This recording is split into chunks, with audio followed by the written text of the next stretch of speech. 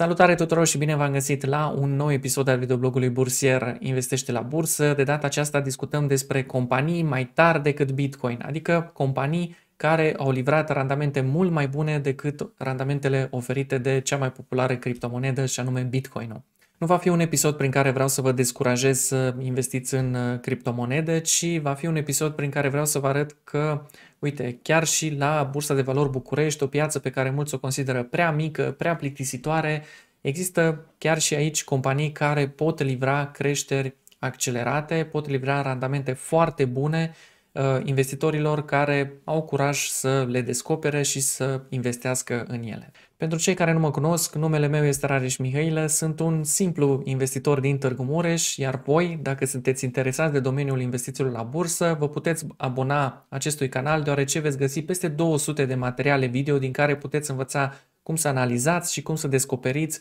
acele companii în care chiar merită să investești. De asemenea, pe site-ul Investește la Bursă, la secțiunea tutorial, găsiți un tutorial absolut gratuit de investiții din care puteți să învățați cum să descoperiți acele companii în care merită să investești. Haideți să trecem și la prezentarea pe care v-am pregătit-o.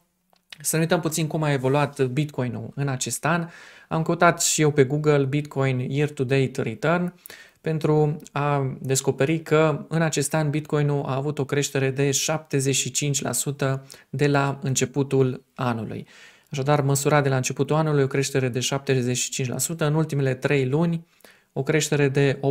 8% și în ultimele 12 luni uh, o creștere de 170%. Așadar, se pare că în trimestrul 4 a anului trecut sau de fapt în ultima lună a anului 2020 a avut o creștere accelerată. Dar randamentul de la începutul anului, dacă ne uităm, 75%.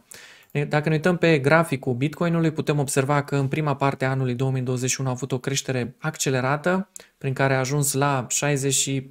64.000 de dolari, o creștere de 127%, după care a avut o corecție accentuată de 54%, până undeva la 26.000, după care de acolo iarăși o revenire spectaculoasă, 134% și iarăși o corecție de vreo 30% acum în ultima parte a anului 2021. Așadar, Bitcoinul este o criptomonedă foarte volatilă, putem vedea pe acest grafic um, volatilitatea uh, accentuată a acestui instrument financiar, o volatilitate uh, pe care uh, mulți speculatori um, o folosesc pentru a face bani frumoși și o volatilitate cu care, cu siguranță, cei care investesc în aceste instrumente financiare sunt deja confortabili. Deci pentru ei nu mai reprezintă o surpriză, o scădere de 54% și după aia o revenire de 100 și ceva la la sută. Deci chiar speculatorii adoră astfel de mișcări pentru că se pot face bani foarte frumoși pe astfel de mișcări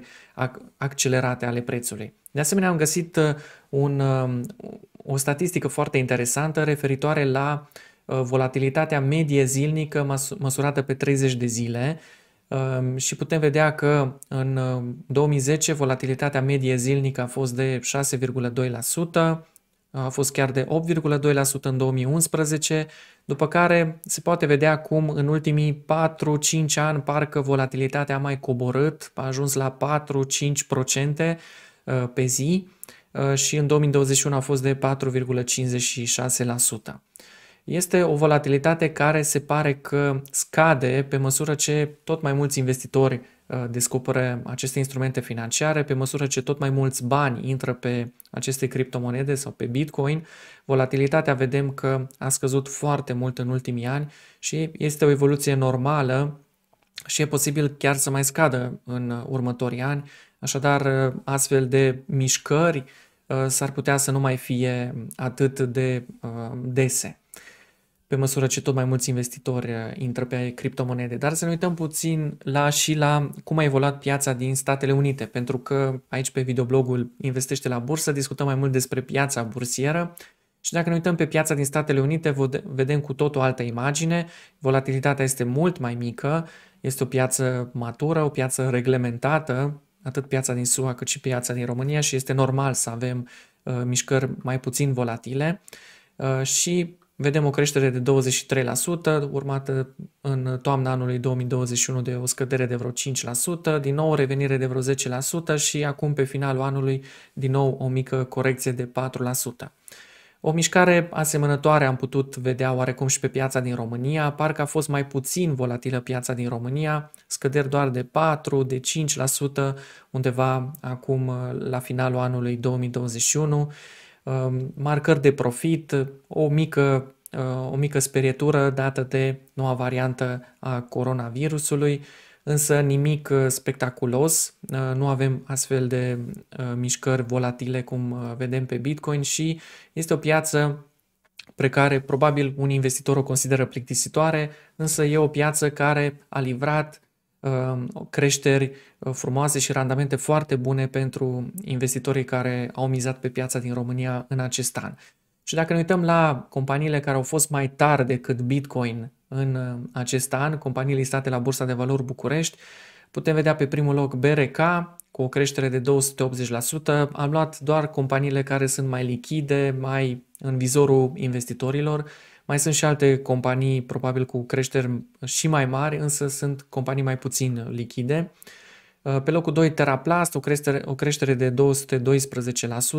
dar și un dividend cu un randament foarte bun de 13%, deci așadar o creștere, uh, un randament și mai mare pentru Teraplast dacă luăm în considerare și dividendul. Nuclear Electrica, uh, o companie matură din sectorul energetic, care a dat și un dividend cu un randament de 5,6%, Impact, o companie din sectorul imobiliar și aici o creștere foarte bună, Cemacon, un uh, producător de uh, materiale de construcție, o creștere de 129%, Biofarm, o creștere de aproape 100% dacă luăm în considerare și dividendului și MedLife, o companie din sectorul medical, o creștere de 91%. Așadar, au, au fost companii și cu siguranță vor fi uh, companii care vor, vor livra randamente mult mai bune decât uh, cele mai populare criptomonede. Însă, aceste randamente pe care le vedem aici trebuie să luăm în considerare faptul că vin cu o volatilitate mult mai redusă, deci cu un risc mult mai redus, pentru că vorbim despre un business, vorbim despre companii din sectorul energetic, um, companii producătoare de materiale de construcții, companii cu o situație financiară stabilă, uh, care au adus randamente mai bune uh, decât Bitcoinul, care este o criptovalută până la urmă. Dar, așa cum menționam și la începutul acestui video, nu este un material prin care vreau să vă descurajez să investiți în criptovalute, ci vreau doar să vă atrag atenția că randamentele uh, pe care vi le oferă criptomonedele vin la pachet și cu un risc foarte ridicat față de uh, riscul pe care îl uh, au investițiile în acțiuni. Ok, acum că am văzut care sunt companiile mai tari decât Bitcoin în 2021, haideți să vedem care sunt companiile care pot fi pe viitor mai tari decât Bitcoin. Nu am un glob de cristal în care să ghicesc să vă spun care sunt exact acele companii, pot să pun degetul pe ele acum să zic că asta, asta și asta vor fi mai tari decât Bitcoin în 2022 sau 2023. Nimeni nu poate să spună cu exactitate care vor fi acele companii, pentru că nimeni nu poate prezice viitorul. Însă, pentru a descoperi acele companii mai tari decât Bitcoin, în primul rând trebuie să înțelegi business-ul acelei companii în care vrei să investești. Până nu înțelegi cum face acea companie bani, cum reușește să genereze venituri mai mari anul viitor, cum, până nu înțelegi cum acea companie va reuși în viitor să facă un profit mai mare, nu vei reuși să intuiești um, acele companii care pot livra o creștere accelerată a Uh, prețului pe bursă. Așadar, trebuie să înțelegi businessul în care vrei să investești și nu investi niciodată într-o companie pe care nu o înțelegi, doar că ai auzit-o tu pe Facebook la un moment dat că menționat careva influencer. De asemenea, trebuie să prinzi din urmă povestea companiei, trebuie să înțelegi de ce este prețul astăzi pe bursă la nivelul la care este. Trebuie să înțelegi cum a ajuns prețul acolo, de ce a scăzut așa de mult acea companie, de ce a crescut așa de mult în ultimele 12 luni acea companie, ca să vezi dacă mai poate crește și pe viitor. Sunt condițiile de piață în așa fel poziționate încât acea companie să genereze și anul viitor rezultate de financiare la fel de bune încât să mai poată crea, să, să poate să mai crească cu 20-30%? Cumpără o companie bună care se tranzacționează cu un discount semnificativ de preț. Tot, noi trebuie totdeauna să cumpărăm sau să investim în acțiunile unei companii care se tranzacționează cu un discount față de cât valorează ea de fapt pe bursă. Și o să vă arăt aici un grafic foarte interesant. Uh, cu albastru avem evoluția prețului pe bursă a unei companii. Crește, scade, iarăși revine pe creștere, la fel cum evoluează orice uh, companie. Cu linia roșie avem de fapt valoarea reală a acelui business. Cât valorează de fapt businessul acelei companii, care ar fi prețul normal și real al acelei uh, companii. Și trebuie să ne asigurăm noi când investim în acțiunile unei companii, trebuie să ne asigurăm o marjă de siguranță, acest margin of safety. Deci noi să cumpărăm acțiunile unei companii doar dacă se tranzacționează cu un discount semnificativ față de prețul real a acelui business. Deci să o cumpărăm undeva aici. Buy when Mr. Market offers the business at a discount to fair value. Așa spunea la un moment dat uh, în cartea Investitorul Inteligent autorul. Deci trebuie să ne asigurăm că de fapt noi cumpărăm acțiunile unei companii cu un discount față de valoarea reală a acelui business. Doar atunci ne putem asigura um, o eventuală un potențial de creștere pentru acțiunile acelei companii. Ce fac cei mai mulți investitori e că cumpără acțiunile unei companii pentru că au citit ei pe Facebook, au menționat careva influencer sau au menționat careva în, într-un articol de presă, după ce acțiunile deja au început să crească, sunt undeva pe aici cu prețul și atunci intrăm și noi în horă și le cumpărăm. Dar de fapt ce se întâmplă e că în zona aceasta, investitorii care au cumpărat, investitorii care își fac bine calcule, investitorii deștepți, care intuiesc din timp potențialul de creștere a unei companii, ei de fapt le cumpără pe aici și noi când citim noi pe Facebook și urmărim noi un influencer pe YouTube care ne spune că uite ce potențial are această companie, noi de fapt cumpărăm pe aici când ei, investitorii deștepți care smart money, cum se numesc ei, ei de fapt încep să vândă în zona asta pentru că deja au un profit semnificativ. Și noi auzim și noi pe YouTube, pe Facebook despre tot felul de companii, începem să le cumpărăm, nu le studiem de fapt și ei atunci vând, noi cumpărăm și după aia ne trezim că prețul are o evoluție total neașteptată. Păi dacă intrăm în horă abia când se termină petrecerea, e normal ca prețul să scadă.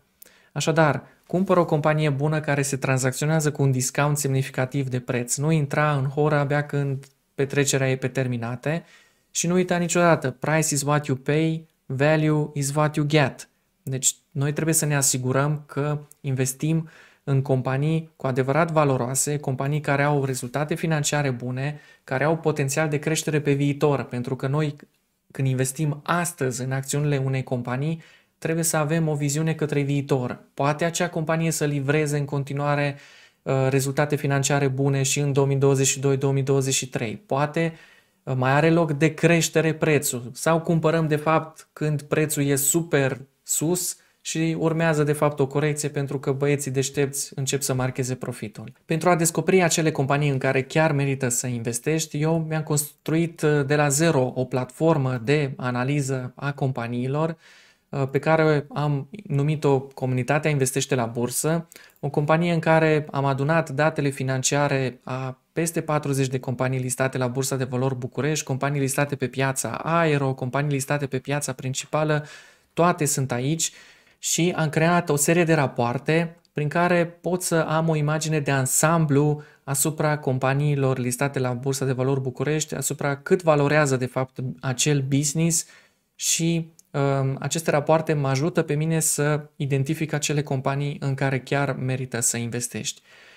Aici um, putem vedea datele uh, companiei OMV Petrom, am adunat și indicatorii specifici, rezultatul operațional, rezultatul pe downstream, uh, vânzări de produse rafinate, producția de energie electrică, rapoarte la nivel trimestrial uh, referitor la profitabilitatea, la cifra de afacere a companiei, toate uh, sunt aici în platforma Investește la Bursă, o platformă pe care am creat-o de la zero pentru investitorii care vor să descopere acele companii care au potențial de creștere și companii care în care merită luate în considerare în portofoliul nostru de investiții. Dacă vreți să vedeți toate detaliile acestei platforme, intrați pe site-ul Investește la Bursă la secțiunea Comunitate și vă puteți face un abonament. Până data viitoare, vă doresc ca de obicei investiții cât mai profitabile.